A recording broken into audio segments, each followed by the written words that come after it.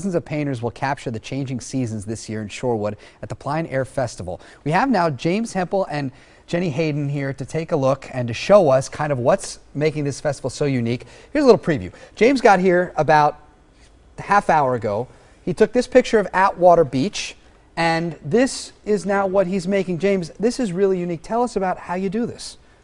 Um, well, this is a, a, a painting um, that I'm um, constructing in, in, a real timely uh, fashion. Um, if I were out there in the field, I would be painting this, obviously, from, from life. But we're trying to capture the effects of light and color and the energy outside. And how long does it usually take for, for some of these to put together? Um, well, for this event that's coming up, this plein air event, it usually takes a couple hours, but um, of course this morning I'm trying to do this all in one hour. Okay, well we don't want to keep you. We've got Jenny here also to tell us about kind of the event. This is something uh, for everyone to see. Kind of tell us about how it's going to move along and, and what people can check out. All the events are free and open to everyone. It's not just a real Shorewood event, but we've got 63 professional plein air artists, just like James, coming to Shorewood for four days. And they'll be outside painting. You can track their location online on our interactive map at pleinairshorewood.com.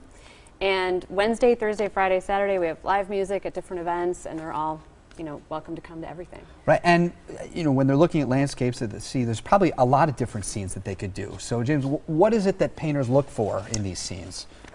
Um, well, we look for uh, something that attracts us, usually an effect of light outside. Uh, sometimes it's historic architecture or um, the activity of people outside, um, you know, enjoying the neighborhood. So um, this couple days uh, coming up this week, we'll be trying to figure out what's unique and inspiring about Shorewood. That sounds great. And Jenny, I guess the big question, Yeah. how do people get one of these? You can get them on Saturday. All of the artists will be showing their work. They'll each have four different paintings. They'll have two paintings that they did over the whole four days, three days, and then they have a couple quick paintings. Thursday night, they'll be all along the business district in Shorewood.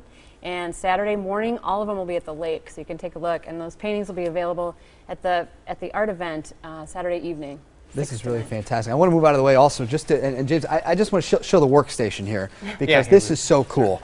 And um, it's really well done. The picture looks fantastic. I can't wait to see the end of it. Uh, and if you'd like more information to log on, go to our website, tmj4.com, click on the links uh, because it's just going to be such a cool thing. Thanks so much, guys, for being here. Thanks Thank for you. having us.